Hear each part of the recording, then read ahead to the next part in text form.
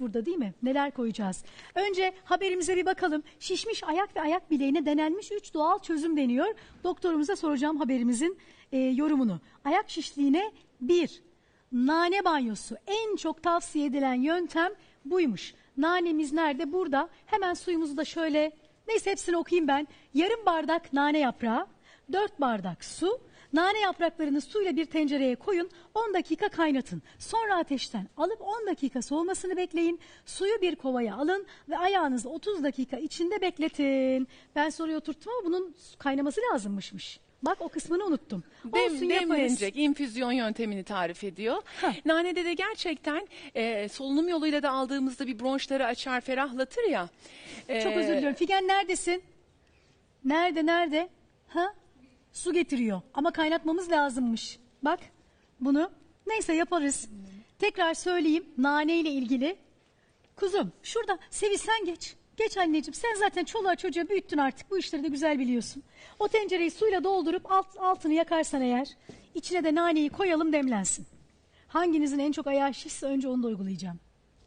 Şişmiş ayak bileğine denenmiş 3 doğal çözüm. Diğeri neymiş? Diğeri de tonik banyosu. Kulağınıza belki saçma gelecek ama tonik banyosu yapmak şişmek şişmiş bileklere ya da ayaklara gerçekten çok iyi geliyor. Ayağınızı sıcak tonik suyuna. Tonik suyu ne? Bilmiyorum. Ya da soğuk suya sizin tercihiniz sokun 30 dakika bekletin. Yani soğuk suyun etkilerinden bahsediyor aslında şişlik için. Tonik su derken tonus yani masaj yapan su mu? Çünkü tonik e, bizim kozmetolojide Cil- tonik dediğimiz şeyin içinde temizleyen. binlerce madde olabilir. Ha. Hani solüsyon demek ama Peki soğuk su Tonus. şişkinliğe iyi gelir mi? iyi gelir kesinlikle iyi gelir. Çünkü Ha. damarları büzücü. Ven dediğimiz toplar damarları büzer. Ödem dediğimiz şey venin duvarından sıvı sızmasıdır zaten. Soğuk su bile tek başına işe yarar. O zaman Ahmetciğim getir soğuk suyumuzu. Nanenin içerisinde de yine damar geçirgenliğini azaltan maddeler var. Biraz önce bahsettiğiniz nane çayı etkili Geç kuzum o olabilir. tarafa. Pakizeciğim. Hah. Birine Şöyle soğuk su gör. e, deneyelim, ayaklarını öbürüne kuzum. nane. Hah, aynen öyle. Ayaklar da şiş gerçekten. Mikrofonunuzu getirdiniz mi? Alabilir miyim mikrofonu? Hah, çok yaşa. Ne zamandan beri şiş bu ayaklar? 3-4 senedir var. 3-4 senedir. Hiç soğuk su banyosu yaptırıyor musunuz ayaklarınıza? Yok. Ona dökme hayatım, ona dökme. Ona alıştırılmış Yapmadım nane. hiç. Hiç yapmadınız. Hiç yapmadım. Hiç soğuk suya sokmuyor musunuz ayaklarınızı? Yok sıcağı sokayım kışın. Kışın. Yazın Ama soğuk. doktoruma Ee, sorayım o burada zaman. çok önemli. İnsanlara çok basit evde yapabilecekleri bir yöntem öğretebiliriz. Hepimizin ayak bilekleri şişebilir. Bunun böbrekten mi kaynaklanıp kaynaklanmadığını anlayacak çok basit bir test var. Kendiniz bile Aa, yapıp bu basit ödem deyip doktora e, ge- e, gitmenizi geciktirmeyi önlemiş oluruz bunu öğreterek. Bakın burada şiş bir ayak bileği. Bu şekilde parmağımızı bileğe bastırıyoruz. Hamur gibi içeride kalırsa böbrekte bir, Bir sıkıntı var demektir. Bakın sizin böbrekte sıkıntı Bir yok. daha yapar mısınız? Bakın gayet ödemli olduğu görülen bir bilek ama bakın elimi bastırıp sayın ona kadar 1, 1, 2, 3 2, 3, 4, 5, 6, 7, 8, 9, 10. kaldırdım bakın geri kendi haline döndü. Beyazlaştı. Böbrek hastası olsaydınız hamura batırmış gibi parmağımın izi kalırdı. Yani basit ödem demeyin. Bastırın bakayım sizde var bir şey. bu dediğim testi yapın. Eğer e, parmağınız bastırdığı yerde kalıyorsa doğru böbrek doktoruna, Peki nefrolojiye. diğer, diğer izleyicilerimiz de yapabilir misiniz? Bak yanlış yere bastırıyor mesela. Tamam. Hah oraya. Bakalım. Sizden rica etsem doktorumdan. Bakın yok. Bu da gayet e, basit ödem diyebileceğimiz bir ödem. Yani böbreğinizde bir sıkıntı yok. Ona gelelim. Orada ciddi bir şişlik var. Evet. Dur, orada damarla duyayım. ilgili bir durum da var. Bakın damarlarda bir sıkıntı var. Hafif kaldıralım. Ha, Bacağınızı bana verir Kaldır misiniz? beni birazcık.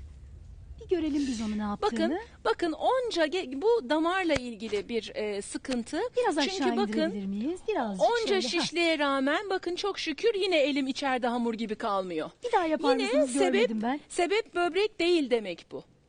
Bir, iki. Bakın geri çıktı. Yani hamura batırmış gibi elin izi kalır böbrek hastasında. Hani insanların aklına ilk o gelir ya şişim var böbreğimde bir şey mi var diye. Acıyor mu? Hey, acıdı. Bu, bu e, eski bir olay. Bakın e, altta bir organizasyon dediğimiz bir doku var. Basit ödem değil. Sizin varis tedavisi al- ya- yapmanız gerekiyor. Orada küçük ve büyük varisler var. Yakın tut, toplar damarlarda tıkanıklık var. Kesinlikle toplar damar işi o. Yani Aynen. olay orada böbrek veya başka bir şey değil. Evet, ben- Geçmiş olsun. Geçmiş Damarlar olsun. için en önemli bitki asma yaprağıdır. Basit. O filizlerini toplayıp kurutup çay yapıp iç- içeceksiniz. Bunu tek başına iyileştirmez, Aa. destekler, ilerlemesini Bir de engeller. hocam yazın e, doktorlar bana kesinlikle güneşte dışarıya çıkmayacaksın diyorlar. Vücut ödemi Neden? atamıyor. Çünkü güneşte yine toplar damarlar genişliyor ve geçirgenliği artmış oluyor. Yani sıcak, sıcak hava, sıcak su bizim istemediğimiz bir Evet. şey. Sizin için özellikle. Hamamda, saunada fazla kalmak aynı Ha, şekilde. Bak sıcak suya sokuyorum ayaklarımı diyorsun ya. o sokma. yanlış. Tam tersi soğuk suya sokacağız. sıcak su yani zaten ben hanımlara Devamlı soğuk su verdi Ben doktor şeyi bile bana. doğru bulmuyorum. Pedikür yaptırırken sıcak suyun içinde bakın soğuk suyla pedikür yaptırın yine aynı sağlıklı oluyor. Hem de ayaklarınıza masaj yaptırmış oluruz. Kaçımızın ayağımızı soğuk suya tutup da bekleyecek vakti var. Pedikür yaparken bu aradan çıkmış olur. Ne bileyim hani tek derdimiz olsun da asıl önemli olan bu ayak şişliğinde demek ki bak soğuk su iyi geliyor. Bu arada sesçi arkadaşımız gelebilir mi? Ben aşağı eğildim ya uçurdu mikrofonumu arkadan. Ee, yani soğuk suya sokmak, soğuk duş, duşta mı aynı şey? Soğuk duş da tüm vücutta damarları büzer, toplar damarlardan dışarıya kaçağı engeller. Ödem nedir? Toplar damardan sıvı kaçağıdır. Bunu önleyecek her şey. Nane Hmm. Bu çayı da yüzden mi şiş ayaklar? Ee, o, o, o yüzden şiş çünkü doku arasına sıvı kaçtı. Sıvı nerede olmalı? Damarın içinde olmalı. Ama şu anda Bir damarın miktar içinden çıkmış Doku ayakta. arasında. Bir miktarda hücreler arası sıvımız Şu ayağı vardır. şöyle ön tarafa doğru koysana öbür ayağını. Görsünler. Biraz da çeker şunu şunu. Şunu kuzum. Biraz da çek. Bak bir anda ayak bileğinde bir de kaşımışsın da sen Bakın orada. burada lokal olarak daha farklı bir Kaşıyor olay da. var. Ona da ona da ne diyoruz? Biz damara bağlı dermatit diyoruz. Cildin ayrı bir Kaşımış, hastalığı o yolmuş, da. kıyamam. Damara bağlı bir cilt hastalığı o da. Peki bu kaşıntıyı durdurabilir miyiz? Çok fena Kaşıntıyı yapmış durdurmak çünkü. için önce nemlendireceğiz. Bakın burada neredeyse her programda bir cilt e, formülü yaptık.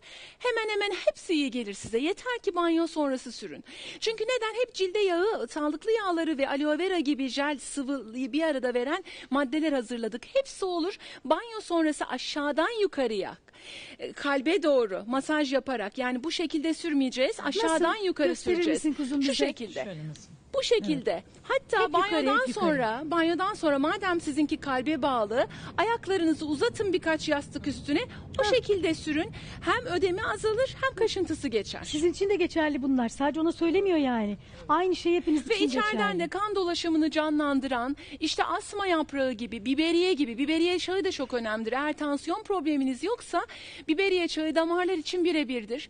Damar koruyucu diye geçer zaten Aslında hepimizin yapması farmakopelerden. gerekiyor. Şişmesini beklememek gerekiyor. Şişmeyi beklememek gerek. Çünkü damar sağlığı demek her şey demek. Gözden cilde kadar bütün vücudumuz damarlarla besleniyor. Bir de size bir şey söyleyeyim mi? Yaşınızı hiç sormayacağım. Aslında gerekli olan bize yaşınızı aslında anlatan şey ne biliyor musunuz? Damar yaşı. Kesinlikle. Damarlarınız kaç yaşındaysa siz o yaştasınız. Cilt siz 50 sağlığından- olabilirsiniz. Damar 30'sa o sizden iyisi yok. Hiç 50 demeyin yani. Cilt sağlığından beyin sağlığına kadar. Damar yaşın kaç acaba? Bilmiyorum.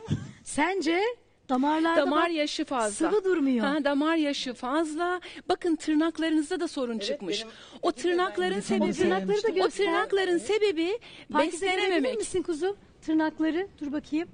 Vücut uç noktalardan çalıyor. Şu böyle bacak bacak atıyor gibi yapsana. Bakın o Yakalayabilir tırnaklar miyiz acaba bu tipik kamerayla? Heh. O tırnaklar tipik tam tersi yapın. Tam tersi. Bakın şimdi. Yok, e, tam tersi. O e, Burada hiç tırnaklar göremedim ama. tipik e, beslenemeyen kan dolaşımının az gittiği tırnak yapısı o. Yok annem seni önden. Ya Ben de var ya bugün senin tırnağını göstereceğim diye mikrofonu falan yok. Gösteremiyorum. Bu mikrofonumu takalım. Ara verelim de mikrofonumu takayım peki. Dur ara verelim O bu tırnaklara şişlikten. ne yapacağız birazdan onu da anlatırız. Onu da söyleyelim. Aynen hemen geliyoruz efendim. Şeyim var böyle